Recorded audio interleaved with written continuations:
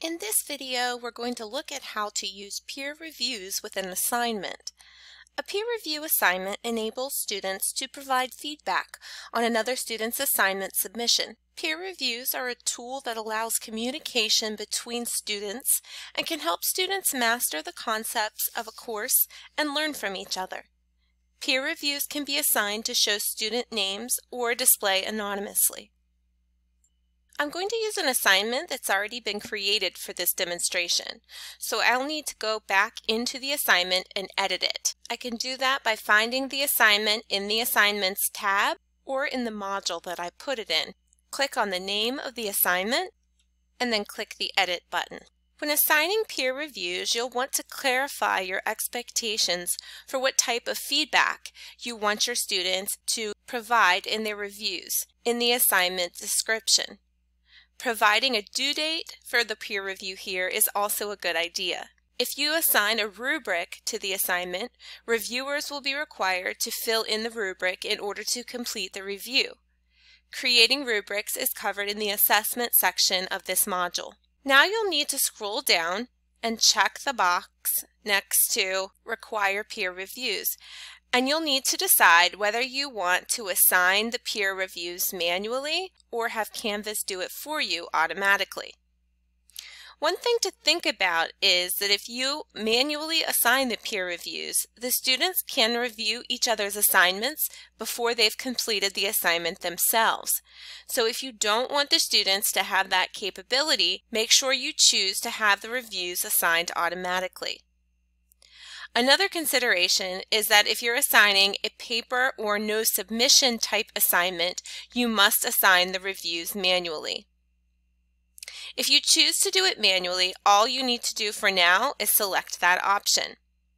If you want to use the automatic option, you'll also need to fill in how many reviews you want to have each student complete and choose the date when you want the system to assign the reviews. If you leave it blank, the peer reviews will be assigned on the due date of the assignment. You may want to consider making the peer review date a day or so after the assignment due date.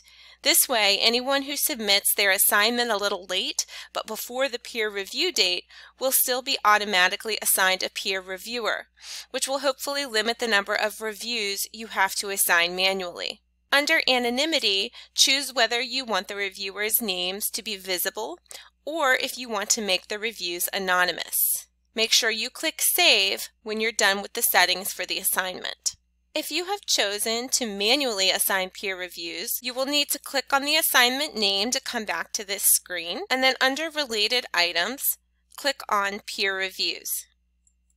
You'll see a list of your students. Click on the plus sign Next to Give Another Submission to Assess, select a student's name from the drop-down menu and click Add. When a peer review is assigned either automatically or by you, the students will see a notification in their dashboard and in their course to-do lists and will also receive an email. This is an example of what that would look like within a student's account. To see which students have completed their assigned reviews, you would come back to this assignment screen and click back on the peer reviews link. From here you can easily see who was assigned to whom and you can see a check mark next to the name of each person who has completed their review and an exclamation point next to anyone who has not. We can see here that Bill Blend has completed a peer review for James Casey but Annie Byrne has not completed her review for Guy Burnett. By clicking on the alarm bell icon, you can send a notification with a reminder to a student to let them know that they need to complete their review. To see a student's assignment submission and their reviewer's comments on their work, click on the student's name from the peer review menu or go to SpeedGrader. In this case, going to SpeedGrader would be easier because from the submission details screen here, I would have to download James Casey's assignment submission in order to view it.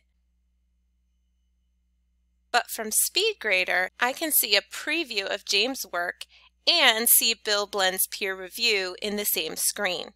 There isn't a built-in place to put points for a peer review, so if you want to grade the peer reviews or assign points for them, I would suggest creating a separate no submission assignment and putting the points in the gradebook manually.